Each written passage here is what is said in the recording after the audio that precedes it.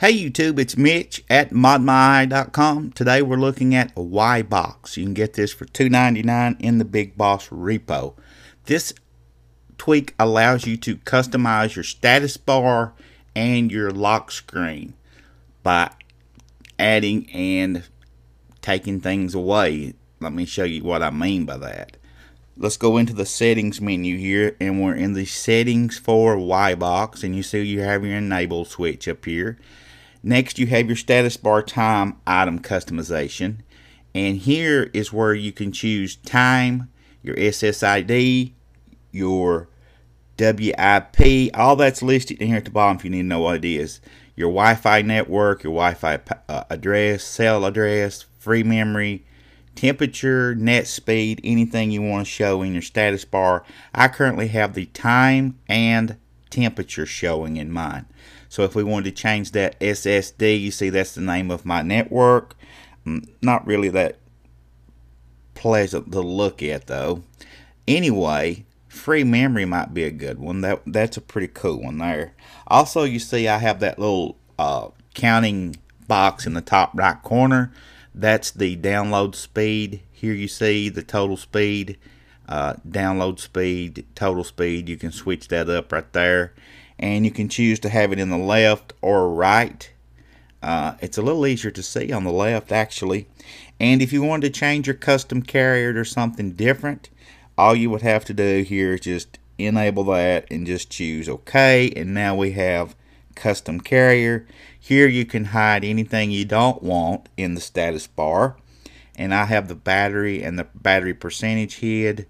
Um, any anything else you know you don't want to show such as signal if you didn't want to see those bars uh, which that didn't turn those off for some reason it may require a respring and right on down the line here's fast unlock I couldn't get this feature to work for some reason but you can type in the name of your SSID here and enable this and if you have a passcode on your device, you won't have to actually input it on that particular network. And you can have more than one by adding commas between them. So if you go to several different places, just separate them by a comma and your trusted Wi-Fi locations, you will not have to enter your passcode. Lock screen customizations, you can you can uh, hide any of this so the grabbers you don't want, the camera grabbers, I have it hidden. And if we go out to the lock screen, you'll see that it's not there. And if you want to turn off these grabbers here, all you have to do is enable that. It doesn't require a respring. And you still have access to your notifications and all that stuff. It just hides the grabbers.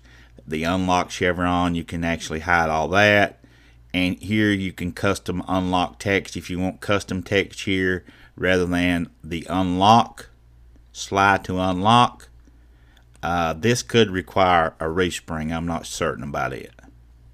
And no it doesn't. You see now we have my name down there so there's a whole lot with this tweak, guys. I know it's $2.99, but it's a large tweak. Does a whole lot of different stuff.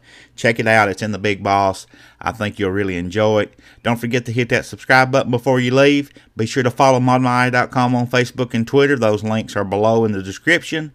Share this video and keep coming back.